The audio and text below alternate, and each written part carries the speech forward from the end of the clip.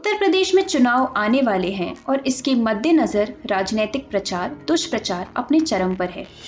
हाल ही में बीजेपी के IT cell head Amit Malviya ने एसपी लीडर और पूर्व मुख्यमंत्री अखिलेश यादव का एक छोटा सा 18 सेकंड का वीडियो ट्वीट किया और दावा किया कि अखिलेश यादव ने कहा कि जिन्ना ने भारत को आज़ादी दिलाई थी। जिन्ना एक ही संस्था में पढ़ करके बैरिस्टर बन करके आए एक ही जगह पर पढ़ाई लिखाई की उन्होंने। वो बैरिस्टर बने। उन्होंने आज़ादी दिलाई। उन्हें किसी भी तरीके से, किसी का भी संघर्ष करना पड़ा होगा तो बीजेपी के अन्य सदस्यों और समर्थकों ने भी ये वीडियो काफ़ी शेयर किया था। पर सच क्या है? असल में अखिलेश यादव की पूरी स्पीच का ये एक छोटा सा हिस्सा है। ओरिजिनल वीडियो को सुनने से साफ़ हो जाता है कि अखिलेश यादव की बातों को गलत तरीके से संदर्भित किया जा रहा है। असल में वो सरदार पटेल जवाहरलाल नेहरू, महात्मा गांधी और जिन्ना सभी की बात करते हैं। लेकिन वायरल वीडियो की शुरुआत जिन्ना से होती है। इससे पहले वाला हिस्सा काट दिया गया है। ज़मीन पहचानते थे। ज़मीन को पकड़ करके फैसले लेते थे। वो ज़मीन को समझ लेते थे, तभी फैसला लेते थे। इसीलिए आयरन मैन के नाम से निकाले जाते हैं। लोह पुरुष के नाम से निकाले जाते हैं। सरदार पटेल जी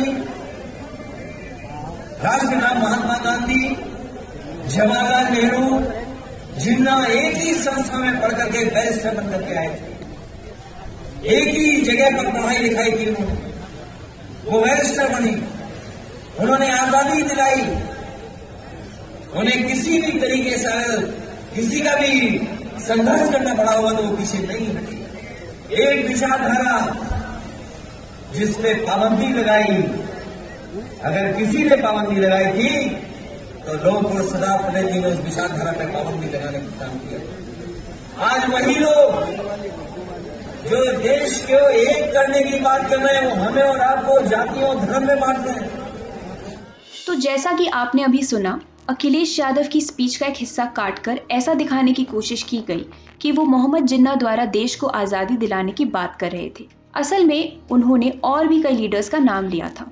ये वीडियो तो अधूरा था, लेकिन क्या अखिलेश यादव द्वारा जिन्ना का ज़िक्र सही था?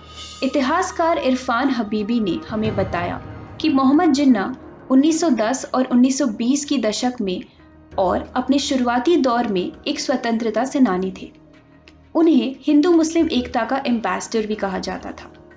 लेकिन बाद में मुस्लिम लीग को मज़बूत करने के लिए और देश को विभाजित करने के लिए जो सांप्रदायिक फ़ेज़ आया, वो भी मुख्य रूप से उन्हीं का किया कराया था। अखिलेश यादव की एक ऐसी टिप्पणी थी, जिसे टाला जा सकता था, क्योंकि हम जानते हैं कि फैक्ट्स को ऐसे तोड़ मरोड़ कर पेश किया जाता है। जिन्ना ने जो काम किया, उस वजह से वो हमेशा विभाजनकारी व्यक्ति ही रहेंगे।